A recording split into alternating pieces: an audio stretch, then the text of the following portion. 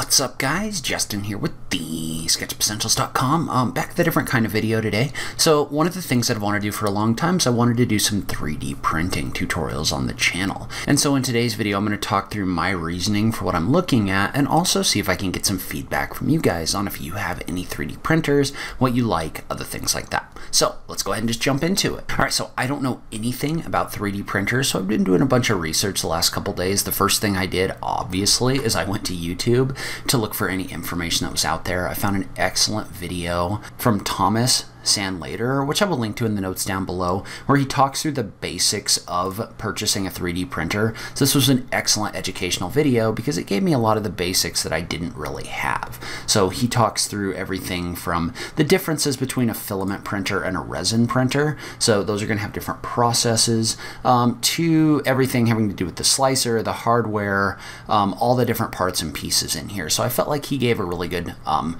base of information. So the other thing I did is I uh, read a lot of reviews and kind of top 10 lists of 3D printers to kind of figure out what the best options were going to be for me.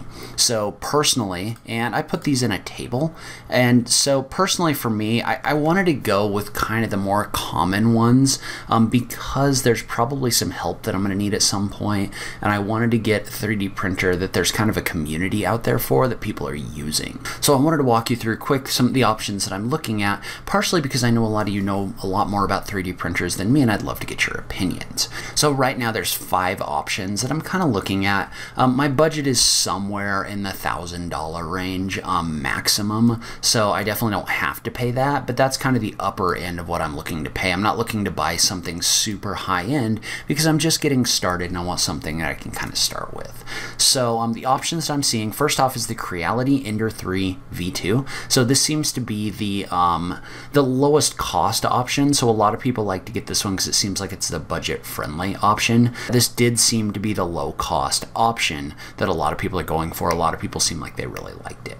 So um, the FlashForge so I saw the FlashForge Adventurer 3. This one seems to be selling itself as kind of the beginner model. So um, the model that's the simplest to use, the least parts and pieces you're going to have to mess around with, um, other things like that. Uh, the other thing I like about this one is it has an enclosure. So I'm going to be printing in my office. Maybe you guys can let me know when you're 3D printing, are there a lot of smells and does it generate a lot of heat or is it kind of low impact? I'd love to hear about that from you guys to see if that enclosure is going to be important. So depending on the options you get, this one's sitting in the 359 to 400 range. So Prusa seems to be the big player in this marketplace right now. So they seem to have the best customer support from what I could see, as well as people just seem to really like them. But the Prusas, there are two options that I was looking at. So there's the original Prusa, and the Prusa Mini. And um, these both seem like strong options. So the original Prusa is a larger 3D printer. And notice that both of these come in either a kit or um, not fully assembled, but mostly assembled. So that gives you the option to put it together yourself if you want to do that.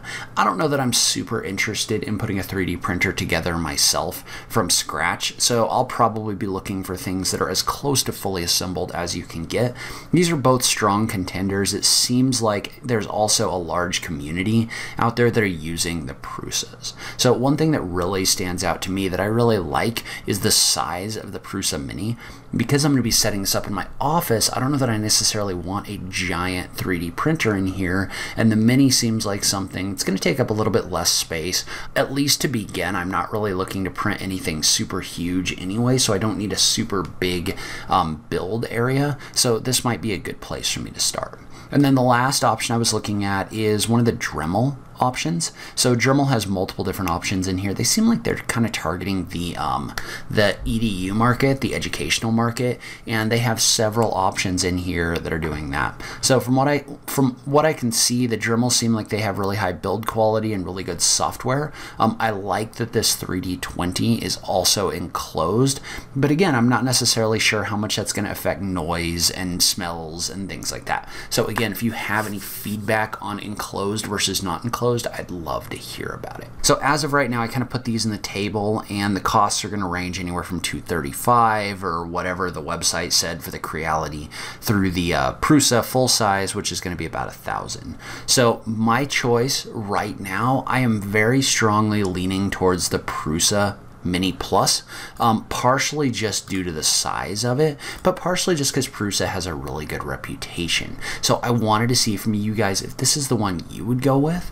out of this list, or if you have something else that you use. So I'd love to hear anything that you think I need to know before buying a 3D printer. So like I said, I am strongly leaning in the Prusa Mini Plus direction, but leave a comment down below and let me know what you think, what you're using, anything you think would be helpful. So thank you for listening to me ramble on a little bit about 3D printers. I'm super excited to start adding this to the channel and kind of just uh, going down the path of 3D printing a little bit and kind of testing it out. So as always, thank you so much for taking the time to watch this. I really appreciate it, and I will catch you in the next video. Thanks, guys.